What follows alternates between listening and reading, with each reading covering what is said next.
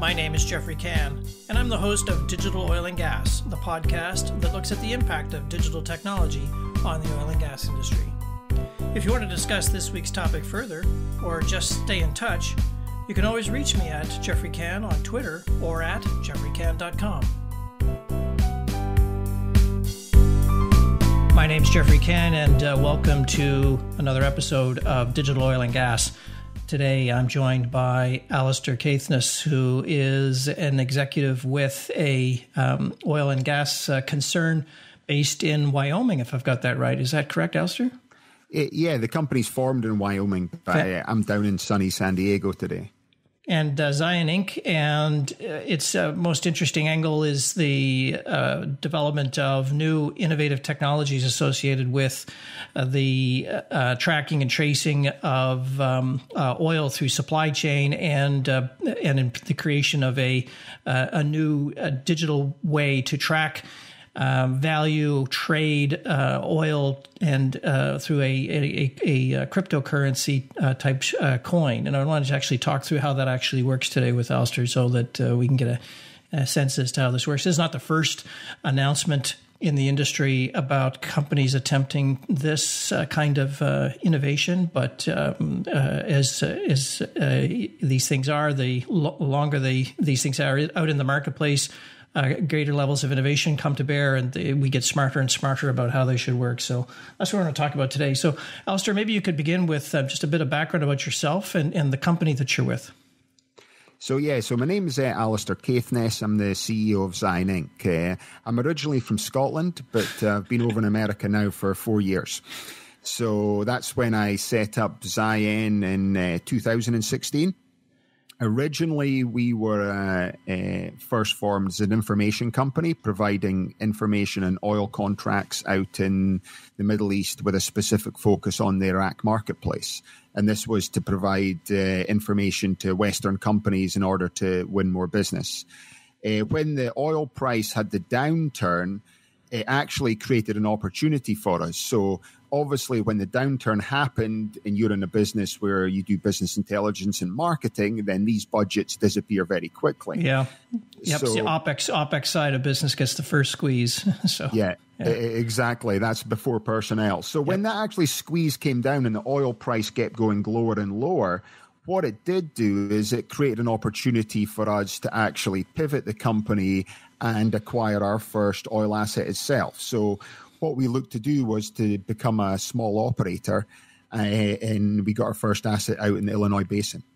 All right, so not in the Middle East per se. Uh, obviously, those those assets are generally under um, national oil company control. But you, so the roots roots were in the Middle East to begin, uh, but then um, uh, uh, first assets in North America. Yeah, it was really the opportunity that actually we got out there first of all. So it was okay. the, it allowed us to get there, and that's where the pivot came from. And then from there, we've acquired another 17 assets uh, in the, the basin over the last uh, 18 months. All, all in Illinois, or are you spread out now across? Uh, it's, yeah, it's all, it's all in Illinois that right. we've actually focused on and it's really just that focus on there. Now, initially, we looked at the, the way they do production in the Illinois basin. So, if you went back, say, 20, 25 years, you would find the likes of Shell, Exxon, or everyone who made ExxonMobil, Texaco, etc. They would actually all own the leases, and they were all drilling for oil at uh, 300, 500 feet. Mm. But with the development of offshore drilling, you know, all the majors pulled out of these peripheral basins in America, a lot to do with the fact that they can't get economies of scale because it's very fragmented, because you've got a lot of farmers who own the land and you've mm. got to have an agreement with every farmer in order yep. to actually access the oil. And then obviously they were able to tap into such huge uh, fields uh, offshore and abroad. So again, that also created the opportunity for us because it's one of these places. How do you start up an oil company? And then how do you get to marketplace? And, you know, if you're going to go to any offshore, uh, oil drilling, then you're going to need huge uh, capex spent in order to get started. But whereby you do the onshore stuff in North America, it's probably one of the cheapest places you can get involved. Yeah, and there's, there's these many of these conventional deposits as the uh, as, you know, including the, the shift to shales and other unconventionals. These these small uh, conventional deposits do get uh, uh auctioned off by the super majors as they focus on their their large uh, larger deposits. So uh, let's turn a little bit to the business problem that you you you encountered that you wanted to try to solve, um, associated with these small uh, these small producing wells. So with these small producing wells, mm. all we were looking at, at to begin with was, you know, how can we push production costs down? So what we realized is that one of your major costs is once you've actually struck oil and you're producing oil is the power to power the pump jack through electricity. Yep. So our thought process is, and we're still going to push forward with this, is we're going to really use uh, renewable energy infrastructure, wind and solar, to generate the electricity to power the pump jack. So it has like multiple benefits. One, it reduces the CO2 emissions of actually producing oil, mm. and then also it has a cost advantage whereby even if we're not pulling all the electricity required from the grid to power the pump jack, even if we're doing 50%, we're still producing electricity cheaper than the guy next door. Therefore, we're producing oil cheaper than at, the guy at a lower door. cost. Yeah, and are those, are those wells are they are they grid accessible, or would your or was your, your design would need to uh, bring a renewable, um, say, put solar panels or a uh, or a wind turbine, uh, you know, in a, in a, collection of wells? How, how, how did that work? Because so, one of the problems is, you know, we don't have the wires out to many of these uh, these remote infrastructure.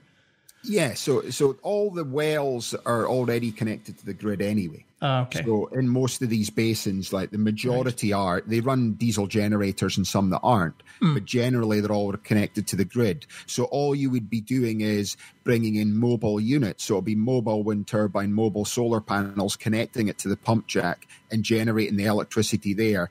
And as we generate electricity, as long as we have to pull off less than the grid, then therefore the cost advantage starts. Fantastic. So, so a cost focus, and then but energy is uh, one cost, but there's many other costs associated with these wells. But but clearly, the business problem was how how, how do you reduce the costs so that these um, these um, marginally marginal producing wells could be cost competitive. yeah, it's to do. Yeah, it's, it's also it's like you can get production down in these basins to like fifteen dollars a barrel you know, hmm. the cost of production is very cheap. It's it's the quantities of oil. See, the entire Illinois basin only does thirty three thousand barrels a day. You know, so that's and that's covering. You know, in its heyday, it was doing hundred thousand barrels or one hundred forty thousand barrels actually. So it's actually gone down a lot. So everything in America, it's all the Permian, whereby the big production is. Yep. So the opportunity's still there in these small basins, and it's crude oil they're traditionally doing their uh, producing there anyway. Uh, you know, some of the uh, smaller operators now moving into fracking just because they're all set up as LLCs, and you can get, uh, uh, you know, preferential stru- financial structuring for that. Yeah. yeah. yeah. exactly. Yeah. Okay. All right, so so we got uh, low volume producing wells, high costs, but you can drive the costs down. Um, and so again, back to the back to the question: what what is the uh, you know, the the, uh, the in terms of the business problem you're trying to solve? Um, well, where, where did you take this? So essentially we were looking to get involved in this transition in energy you know transition from fossil fuels to renewable energy. Now you know obviously it's so it's a hot topic in america right now with the green deal and you've got people like aoc etc pushing this hard. Mm. but you can't go from a country that's reliant on oil to suddenly being reliant on renewable energy. So to me the thought process is you know you've got to get involved in this transition. So if we can use renewable energy to generate the electricity to make fossil fuels. Therefore, it starts this transition process, but it also, what it does do is it drops the CO2 emissions because no longer are you needing to, your, that electricity is actually created through green energy. Right. Yeah. Yeah. And see so, how it, it, it, this is one of the, one of the, the, um, insights from many observers of the industry is is that we are the transition cannot be overnight, and simply shutting the existing world off uh, doesn't work because um, the in, the wells decline at five percent a year would be be crazy to. Uh, uh, to to uh, halt all the fossil fuel in its tracks because um, one year from now there'd be five percent less energy, and the, the, impact on the industry would be uh, all, all of society would be catastrophic. Yeah, plus, you know, by 2050, we're looking to have double the energy requirement for the world yeah, anyway than exactly. what it is. So, yeah. you know, we, there's a curve of right now that we're needing more and more energy. You know, as China, India, these places are taking huge amounts of energy from the rest of the world. You know, a lot, you know, in America, the coal industry, you know, right now they're mining coal to export to China mm. not to actually burn on the, the burn domestically, yeah, yeah, yeah. domestically any longer. You know? And so, where and how does a blockchain fit into into this uh, game? It, it was really, uh, uh it was actually the space that we were in. So we were actually getting regulated under Regulation A and Regulation D. So Ziyen Inc. was the 33rd company in America to be uh, qualified under Regulation A plus. So this was the latest regulation by the SEC that allowed non-accredited investors to invest in startups from the ground floor up. And it was really just that space. So as this tokenization part came in, it was all the same people who were involved in regulation are now involved in issuance and tokens. So really, we were in the space of it. Is our you know our transfer agent um, VStock? They've got a division now. They're launching V token. So again, all the people I was following were actually moving into this tokenization and the, uh, essentially the, the birth of the blockchain space through regulations. Mm. So our company was essentially in this space. I was following the space, you know, and the, the people who I follow online in terms of, uh, you know, to learn more about the company and the regulations, etc. They just start talking about this more and more in terms of security token offerings and taking this tokenization from the crypto world and essentially in a you know, the simplistic way is the SEC are trying to regulate cryptocurrency or tokenization and allowing your VCs and private venture co- uh, companies and investment banks to get into the blockchain space. Mm. So to me, we were in this space anyway because we were getting regulated that way. So I think there was an announcement recently as the first regulation A blockchain company's just been regulated to raise funding from it. So it was really from a fundraising perspective, we were in that space. And then because we were involved in terms of the, the oil and gas perspective, I just realized that there was nobody looking at what we were looking to do. So then I realized that, you know, we're sitting on these assets is there any way we could actually start to tokenize it and move into the space from there? Well, so I just uh, let's just try peel that apart a little bit because the uh, for for those who uh, who are listening along with us today uh, may not have the the depth of understanding of how tokens actually work in in the connection of uh, in connection with a an oil producing asset. So maybe maybe in a simplified way, perhaps you can just describe what what is the problem or what is the uh, yeah. the, solution and how it's how it's intended so, to work. Yeah, so we're basically standing on top of the shoulders of the people who went before us. So, uh, so when you look at creating an energy cryptocurrency. And then a lot of people say, you know, how's energy cryptocurrency going to be like Bitcoin? Essentially, an energy cryptocurrency, and the ideas that went before us they were like Libra. It was a stable coin for the oil and gas industry because right now the oil and gas industry, you know, spends approximately two hundred billion dollars a year on transaction fees. Mm, now, this yeah. is cross border transaction fees, and this is all banking charges, especially when you start going to places like Iraq, Libya, these other parts of the world whereby Western banks don't operate. Then, you know, they have to juggle money around to get deals done in these places. Mm. So that's the way everyone looked at the problem before is if we can create a stable coin like Libras for the oil industry, then it'll remove the transaction part of it and then how do you benchmark it? And you know whether you benchmark it against a barrel of oil or against kilowatts of uh, electricity or therms of energy there's all ways in looking at the problem. But it all comes down to the same thing Geoffrey is unless you get adoption from the big operators you know you and i could create the world's greatest oil and energy cryptocurrency but if they don't use it then uh, you know it's it's just not going to work. Yeah, it, adoption is is the big is the big challenge here. In fact, many of the use cases that you can see uh, emerging in the uh, um, of the broad, other uh, uh, segments of the economy. Uh, thinking here about Maersk and uh, the use of blockchain on containers, or Walmart and the use of blockchain to track foodstuffs through the supply chain. There, there typically needs to be a large uh, in, incumbent in the industry who pioneers these things to to drive them forward. Um, so uh, uh adoption is really one of the critical uh, challenge yeah. areas and, for sure. And I think it was, and as we started to move into the space and you mm. looked at it, it, you just realized that the adoption was the problem. So even if we had an SEC regulated version of a, you know, a cryptocurrency, to begin with, it would be compliant. Then it would have to obviously get approved to become regulated you would still have the same problem. Unless you get the super majors using it then it's not going to get adopted. So then we started to look at it from a different angle and i think this is what the blockchain is all about. It's to me the blockchain is providing this opportunity for the entire world to solve problems in a different way than we've had in the past. So then we start to strip back everything. So what can we do? You know we're obviously in the space there's problems to be solved. And this is when we start to realize that if we can strip it right back to the beginning and we can actually just tokenize a producing asset on the blockchain, on an Ethereum blockchain, this in itself is going to have so many benefits to the industry that it'll ripple it all the way across.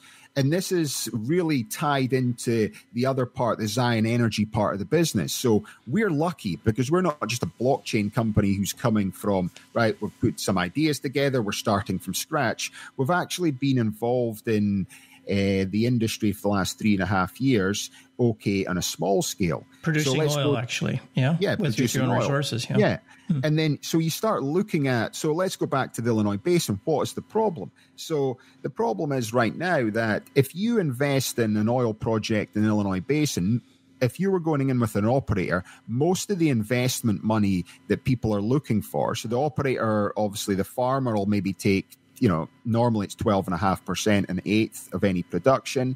You know, your main operator can take, you know, the rest or 70, 80%. And then usually they've got like 50 to 100 to even more small investors who have working interest in this project. Mm-hmm. And you usually invest, whether it's a tax break, but you usually invest in the drilling aspect of the project because that's where the costs come in and once it moves into production and you start producing oil, then you're dealing with CountryMark, the main um, refining company in the area. Mm. And then what happens at that point is, you know, every time your storage facilities are full, there's two pipelines that go through the Illinois basin. So if you're close enough to the pipeline, your oil goes in there. Alternatively, they've got like 45 trucks that run around the basin every day and then they pick up the oil. And depending on how much oil that you sell over a month, then uh, CountryMark basically give you, on average, like $10 less than the oil price, because obviously that's the refining charge and picking it up. And then everybody gets their cut their check at the end of the month. The farmer gets cut his check, or landowner, the main operator gets to cut their check. And then these 100 people who've got small working interests get cut checks. And sometimes they are like $50, $200 a month. And this can go on for 10 to 15 years. Mm. But the problem really being is the money's actually locked into this project. So each month, uh, you're getting your check, and this can go on for, say, 10 years or 15 years. But then, how do you unlock the liquidity? So if you actually think about what we're about to do, by us tokenizing the asset, and everyone who's got working interests have got tokens, and then we create a secondary trading platform for order people to actually trade these platforms. And now, you know, we're not going to be an alternative trading system. We'll have a, a trading system behind us. But essentially, what we're about to do is create this new level of liquidity into the industry, whereby money's currently locked in these projects, you can't move the money. If we tokenize it, then people have had this opportunity to sell the working interest. Yeah, yeah. It, yeah. So if I'm a, if, let's imagine I'm a small, a small scale investor. I, I have a, a, working interest in one of these wells. Uh, how do I sell my working interest to another party? How, how, do I give it? How do I how do I gift it? So, for instance, to a uh, yeah. you know to an inheritance? How do I if I sell my land? Uh, what happens to the the uh, working interest of the of the that I have in that particular producing well? All these questions get wrapped up in the the accounting uh, back end of of uh, solving for the distribution of proceeds for the, for these operating assets. And what you're, I think, what I'm you're you're you're arguing to here is that by creating a an, an abstraction of this uh, at a at a token level, uh, we can unlock the liquidity opportunity to allow people to buy, sell, and trade their interests uh, at a level that that can't presently do given the current way we do things. Yeah, that's that's hundred yeah. percent correct. So that, that and and when you start to think about that, so when we you just you just basically hit the nail on the head there, Geoffrey. Exactly, that's what's going to happen. But yeah. then you start thinking about the ripple effects of what's coming in. Well, you're creating a new asset class. I mean, this is a, fin- fin- a financially. Uh, when was the last time a new financial asset class was created? Right, of, oh, of, yeah. of scale. I, I, was thinking it from a small scale. Mm. You know, uh, small uh, projects and doing this mm. in terms of the, the, you know, the non non interest working ops that they're actually yeah. starting to.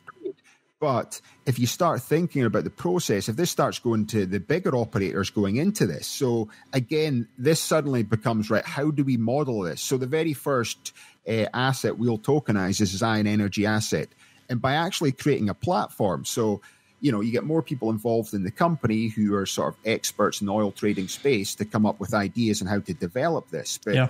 if we've got a trading platform to move away from having one energy cryptocurrency and then one token we all trade.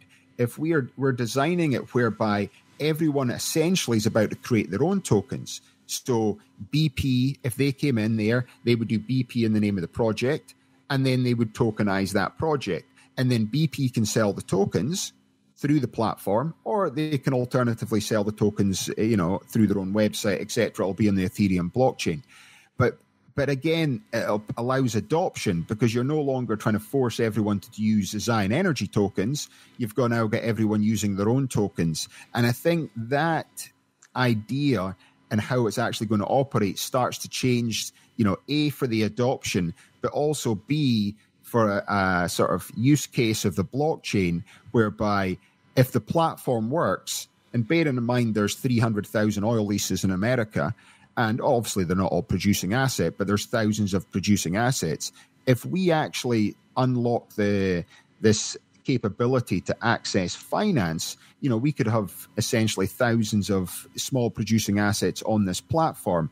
And if you look to people doing token issuance right now, where they're just doing one by one case, mm-hmm. if we can suddenly have like, by the way, by our platform on the back end of your ATS is creating a thousand token offerings, for producing oil assets, suddenly this use case of the blockchain could be one of the biggest ones out there. Yeah, it would be a uh, unlock a tremendous um, uh, uh, value promise. I think.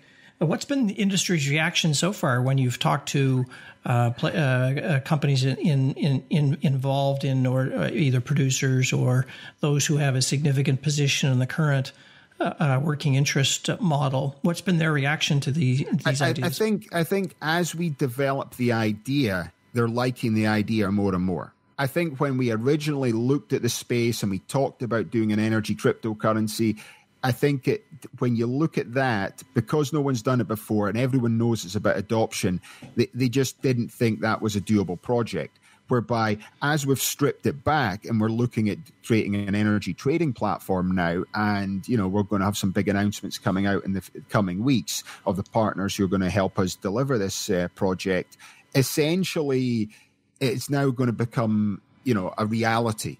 Now again the great thing about the platform is if we've only put on Ziyen energy projects to begin with the platform works. And it can be scaled out to with a utility token of having one project all the way up to a thousand projects. Mm. and to me or 10,000 projects or 100,000 projects. Now obviously we're going to do in the US first of all because that's where we're based and that's where all our attorneys have their you know they're all regulated and that's where the knowledge the S- yeah the SEC drives the bus here um, the in, in, the oil the, industry. definitely the SEC yeah. drives the bus and uh, you know tokenization in the US is going to be driven by the SEC and when they really allow the likes of tZERO and that's to start to trade. Yeah. Because it's all under regulation and rules. So when you actually invest in Ziyen Coin right now, so Ziyen Coin, in order us to do this, it's actually not a cryptocurrency. What it is is is a digital token against the assets of Ziyen Inc. Essentially, it's like a, a it's a, like a fractured share. You know, it's uh, it, the all the um, shareholders they'll be able to have a, a, fracture share, which is one hundredth of a share, which is a token or a coin offering. And this is the advantages of being based in a place like Wyoming, whereby cryptocurrency is legal there now. So in Wyoming, if you want to go into a, a BMW and buy yourself a car, they have to accept Bitcoin. You know. Oh is, yeah, uh, that's a big that's a big plus. It means that um, you know, there's probably under, another message for um, uh, regulators out there, which are uh, is that the uh, the, the speed with which other uh, regulatory environments adapt to these uh, these new new innovations uh, gives the local and business community a leg up in experimenting, trialing, and, and seeing what works and what doesn't work. Uh, so early adopters do get a win when the regulator gets on board uh, with, with these things. It's massive. And then yeah. the other thing as well, Geoffrey, is like we, you know, if you go to our SEC filings, you'll see we filed Ziyen there as a digital energy token in order to do this.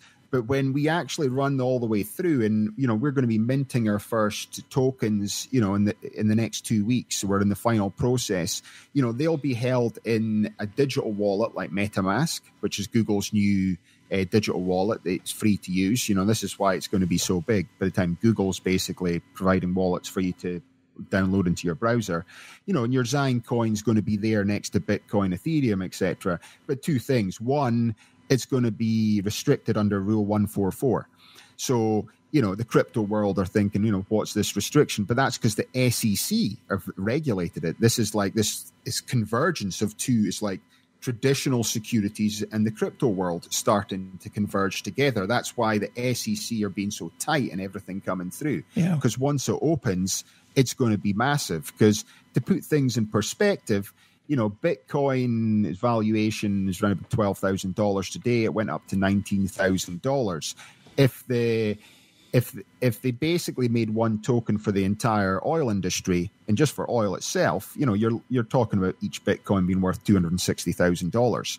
So it puts things in perspective, and that's still only three percent of the world's GDP. And so that's and, of, and, that's just for the oil. Yeah, that's just yeah, one yeah. kind of commodity. You know, we so, have yeah, we still have gas so, to think about and other minerals and so forth. You know. Oh yeah, it's like massive. So it's like converging everything together. So yep. what we are doing is right at the forefront. So the amount of legal guys that are coming into the company, it's just. Uh, I just have meetings with lawyers all day long telling me I can't do things. yeah, and you'll have, I, you'll, and don't forget the tax professionals too, because the uh, you know the, one of the questions in all of this, uh, aside from uh, the um, uh, use of the the coin to represent a physical asset, but uh, the valuation of of the asset uh, frequently is a taxable. Um, uh, creates a taxable event from a, a, government standpoint or a taxation authority standpoint. That's one of the big things about the platform. If you, if you tokenize these assets, and when you get your monthly check as a working interest in a token, and we've got other producing assets you can invest in, you can suddenly reinvest this through tokens and other projects and avoid having to pay tax from the monthly checks coming out.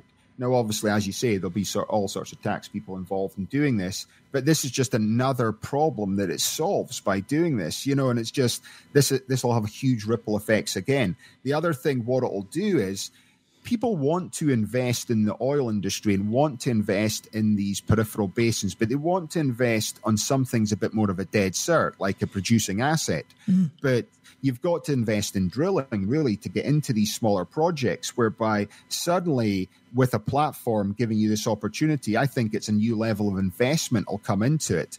And then from a money lending point of view, you know, I, I've spoken to quite a few experts from Houston who are involved in the blockchain space and oil and gas from a money lending perspective. By unlocking the asset, it's creating a new level of liquidity. And then the money lenders, you know, as much as they need security, what they want to do is lend you money. And if they can lend money against this new level of liquidity, suddenly it creates another layer of finance that's going to come into the oil industry that can essentially, you know, make it even bigger. So aside from uh, so a couple of things uh, benefits that I'm uh, that that really uh, come through here. One is there's a cost um, um, cost out opportunity because the there's a great deal of back end bookkeeping and accounting and so forth that goes on um, with respect to the um, uh, cost and revenue allocations on producing assets. So that is simplified to a degree. Then there is the expansion of the financial uh, marketplace, uh, the creation of a new financial asset, uh, the, the uh, creation of liquidity in the industry that where they're presently that some of those assets are, are effectively illiquid as they're trapped uh, with the physical asset. So there, there's a variety of benefits lurking here. Uh, have you have you given any thoughts uh, as to or, or or has has the the size and the potential value release uh, been quantified to this point? If this if if we could transform the industry, it certainly sounds like it's measured in the hundreds of billions of dollars. Yeah, it, it's a hundred billion dollar project. Yeah. You know, we, the, the, platform itself is essentially is going to be launched as a subsidiary of Ziyen Inc. You know, so yeah. it'll be so the platform itself. So uh, Ziyen Energy Trade Platform will be the platform. The partners will have to go in to make this work. I'll be owning that. You know, I don't, we're not going to own the whole thing because we're bringing in the right partners to push the whole thing through.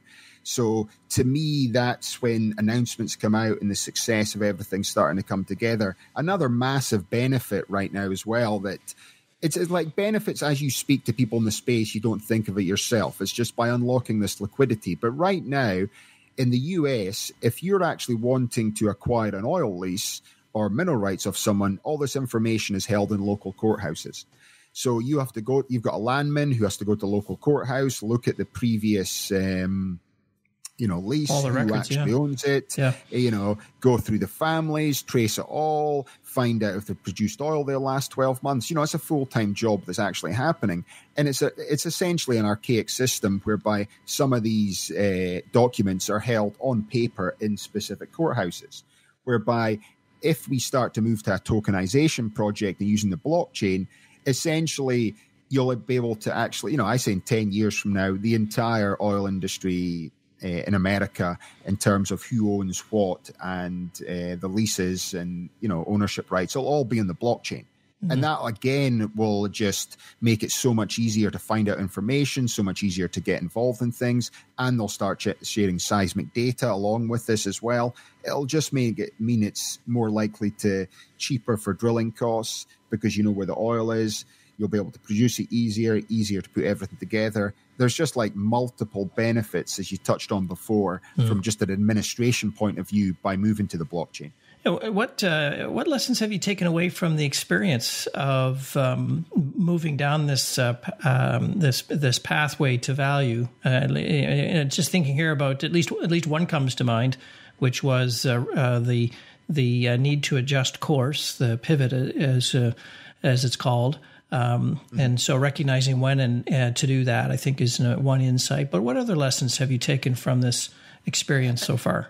I think the lesson is that once people start to discover the blockchain, it's a bit like the, the start of the internet. You know, if you think about the internet, the internet started with email, the blockchain started with Bitcoin but it's it's not going to be everything about the blockchain just the same way as the internet is not everything about email you know we use it every day you know, we're, we're going to start using the blockchain through smart contracts anyway. So suddenly the whole world's going to be engulfed with this new technology. Now, you know, I keep saying to people, yeah, I, I, know how the internet works. Well, write me 50 words and tell me how it works. Uh, well, I can't really do that. yeah. But I, I, can use it, you know? Yeah. It's like saying to, I say, I say this to a lot of people too about, you know, do, do you know how a carburetor actually works?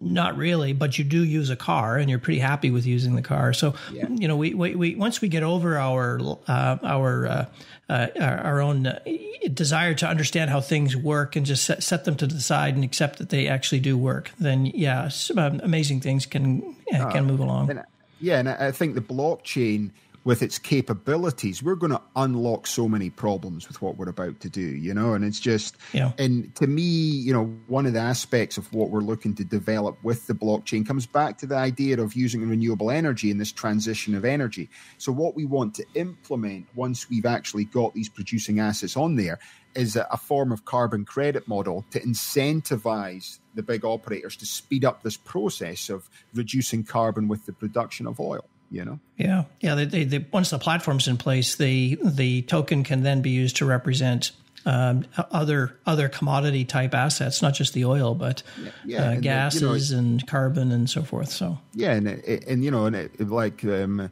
my my brother and all my friends play golf with call me the beekeeper because I always wear this big hat. You know, I mean to avoid the sun. But you know, my granddad was a beekeeper as well. You know, and to me, the plight of bees is you know something you want to save. You know, I, I love walking in the countryside. I was brought up in the country, so you know, I might be involved in the oil industry, but I'm more a realist rather than one of these people that's just pure optimist. But I feel that if we create a trading platform which you know it'll be worth over a hundred billion dollars, and what a percentage our company owns of that is going to be huge return to our shareholders, which is obviously key. But if we can implement some form of carbon credit model whereby we can actually monetize and speed up the process of the Green Deal that they all seem to talk about, you know, we're providing a solution. It's not just me, there's other people providing solutions. And I think the blockchain, once we get our head around this concept, there's thousands of problems in the world that we're going to be able to solve like nothing before. Yeah. Any advice you might have to share with uh, other entrepreneurs um, who are looking at problems like this to solve in the industry? Yeah, I think the best thing is just you want to start, you want to delve straight into it. Start watching videos, start learning about it, learn what people have done before in the process. You know, it's just, you know, we looked at uh, the company Oilcoin, which was the first one that actually did an ICO in terms of, um, and I know some of the key guys within that company, and they're advising us going forward right now, but they were ahead of the curve and you're talking guys from like Goldman Sachs and Credit Suisse and uh, these guys doing this problem. So uh, they were ahead of the curve, and their coin was going to represent a barrel of oil. And even though they had over a billion dollars worth of reserves in the Permian Basin, they still couldn't push it through because of the adoption, and they were probably ahead of the curve. Mm. So, you know, these guys have come in there, always ask for help, always look to collaborate. You know, I've got a good idea. I have to collaborate. I just want to work with the best people out there and just understand what your limitations are. So bring in the best people to help you because they're the ones who've got experience, can push it through, advise you what they've done wrong. And what you find is because people are in this space, they've got a passion to make the project a reality. And then they look at what you're doing in terms of we're coming at it from a different angle, from a very small scale of actually tokenizing an asset. So by us tokenizing these small assets in the Illinois basin, if we can test the model in the Illinois basin, then we can roll it out to the Wyoming, Oklahoma basin until it's completely dialed in. Then we're going to launch it at the Permian. And then at that point, if we can get the big operators involved and they like the project because we're basically designing it to help them, especially putting in a carbon credit model, which is huge in terms of the, the big oil companies, you know, especially downstream like Total and Oxy and these guys right now, they're already working models with this. It's, you know, you're, you're creating something to make the big oil companies look green. You're going to unlock liquidity. You're going to make them more money. And, you know, you know, there's they probably just buy us and call us, you know, well, it'll move. It'll certainly move the uh, move move the, the, the change along that we all are are anxiously yeah. uh, trying to drive forward the energy transition. Yeah, I, I, get a lot of support as well yeah. from some of the key guys in the industry. So one of the the guys that I have spoken to about what we're doing a couple of times, the guy Karn Sood from Shell, and you know, if you ever meet Karn, and uh, I don't know if you've met him already, Geoffrey, but uh, he's uh, when you meet him, you think he's just like uh, some entrepreneur software guy from Silicon Valley. You don't think this guy works for Shell because you usually think and you go to these vents, these stuffy guys that wear the three piece suits, you know. Yeah. Well, as it as it turns, the majors are investing uh, in in many of these oh. technologies to understand how they work and what uh, implications they raise. And Shell is probably one of the leaders in uh, at least definitely. most publicly. Yeah, definitely. And they're all looking at smart contracts, and this is how it will get yeah. rolled to the industry. I know in the industry right now there's a lot of people think, oh, is it going to get rolled out? But to me, it's going to get rolled out through smart contracts before they know it. And you'll just be using the smart contracts and you're using the blockchain. You know, there's more and more events that are people are speaking about this. They've all got key personnel within it. And all these guys are super smart, you know? Yeah. It's like, and then what we are doing is we are doing something that to them is more high risk. It's tokenizing oil assets, but it's like anything in the oil industry, in the subsea industry. You know, if we develop the technology and it works, they either acquire us or start using it. You know, yeah, that's how the industry works. Uh, Alastair, I'd like to thank you very much for um, uh, coming on to the podcast today and sharing your perspectives with us about these digital innovations, in particular the uh, potential for tokenization of uh, oil assets. And uh, we'll be watching your um, successes in the years to come. Thank you so much for today. Yeah, thanks so much, Geoffrey. Have a nice day.